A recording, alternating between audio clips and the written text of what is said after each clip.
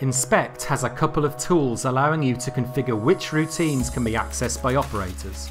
In order to perform any such system level configuration, you first need to be running Inspect as administrator.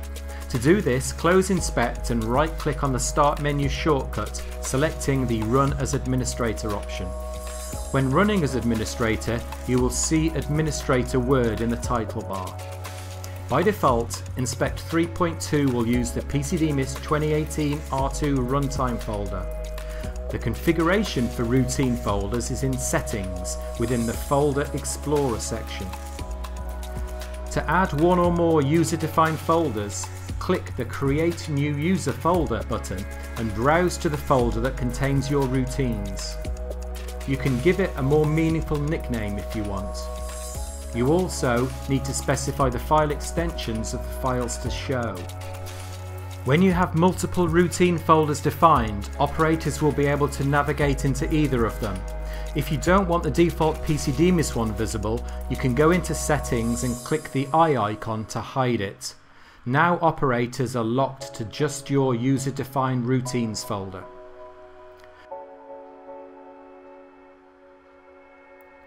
Another way to control access to routines is through favorites.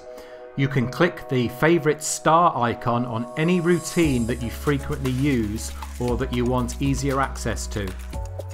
These starred routines will then be available for selection in the favorites folder off the start screen.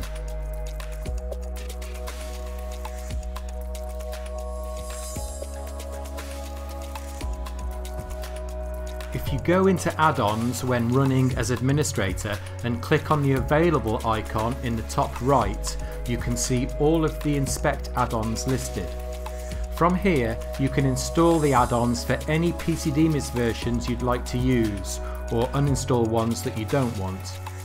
By default, Inspect 3.2 installs the PCDMIS 2018 R2 add-on, allowing execution of routines in our newest PCDMIS release.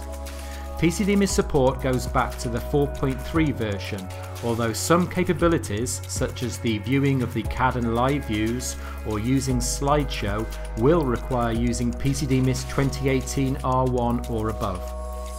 Once you've selected your add-ons, click Restart and Apply to shut down Inspect and make the new capabilities take effect. This may take longer than a normal startup as Inspect is reconfiguring itself and also connecting to our servers to check for updates to the add-ons.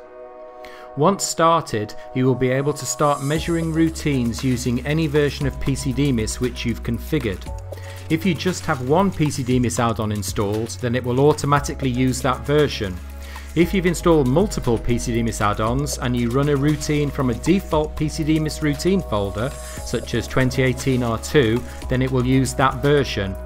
If, however, you run from a user-defined folder, then it will pop up a box asking which version of PCDMIS you want to use.